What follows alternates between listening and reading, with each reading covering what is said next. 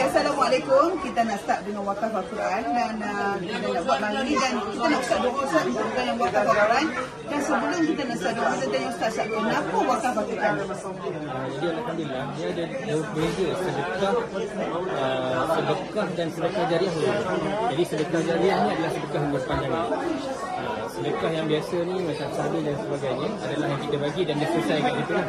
Dan kita akan dapat pahala ganjaran juga. Cuma sedekah jariah ni dia punya ganjaran tu berganda-ganda-ganda-ganda. Jadi dengan itulah wakaf Al-Quran semestinya seperti yang mana dijanjikan oleh baginda sallallahu alaihi wasallam pada tidak bertahun dulu yang mana Rasulullah uh, maklumkan kepada para sahabat satu huruf sepuluh ganjaran. Jadi kalaulah orang baca ayat Al-Quran yang kita wakafkan orang tu dapat uh, ganjarannya dan semestinya dalam Islam ni sangat adil bila kita begitu bagi kebaikan kita pun akan dapat kebaikan. Jadi itu sebab kita bersesuaian wakaf Al-Quran ni semoga kita dapat ganjaran yang jariah. Ya, tak katakan alif lam mim tu melainkan satu alif lam mim tu adalah 10 poin 10 poin 10 poin betul tak Ustaz? Ha, so apa lagi yang doa tunggu kita masih ada kat sini sampai hari Ahad untuk doa buat wakaf Al-Quran. So kita mulakan hari ini dengan doa Kami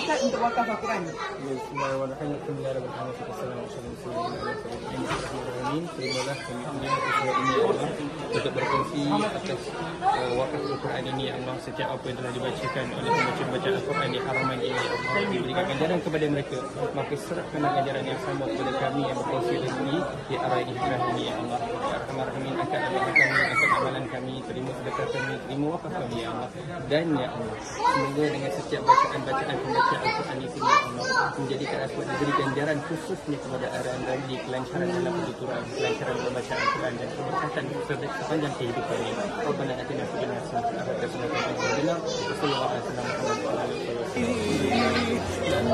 Muhammad niat juga apa saja kebaikan yang Allah baca Quran apa yang sebab di sini mengalir kepada mak bapak saya dan juga untuk semua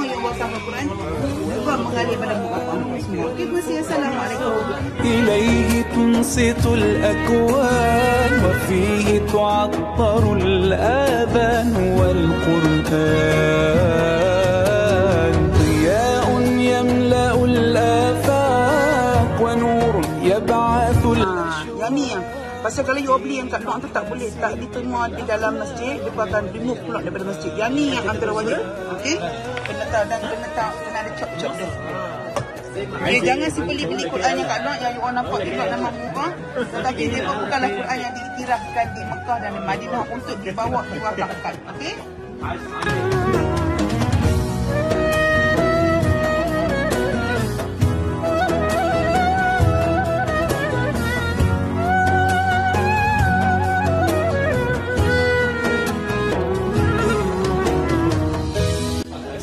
Okey, Assalamualaikum. Kita wakaf Quran tetapi saya wakafkan 10 khas untuk anak saya Muhammad Arayan Ramli.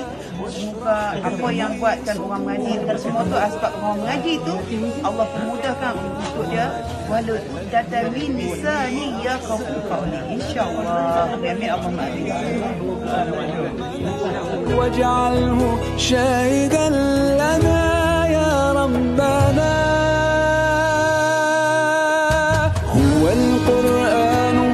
والفرقان إليه تنصت الأكوان وفيه تعطر الآذان والقرآن.